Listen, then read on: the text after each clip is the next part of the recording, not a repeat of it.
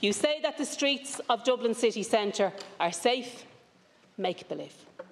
Tell that to the children, parents and staff at Gaelscoil Coláiste de Mhuire.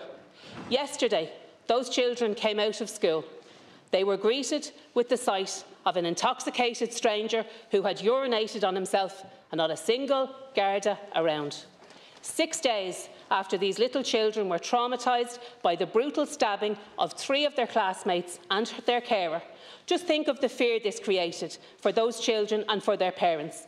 Minister, what happened to those children is not normal. Nobody expects a guard to be posted at the door. What they do expect, though, is visible, strong, active community policing in the vicinity of the school. They did not get that. Not a single lesson has been learned, Minister, because you are not listening. In any other walk of life, in any other organisation, the person presiding over such a colossal failure would be sacked. Clearly, you are not the person to restore people's confidence in public safety. Your position is completely untenable. You should resign.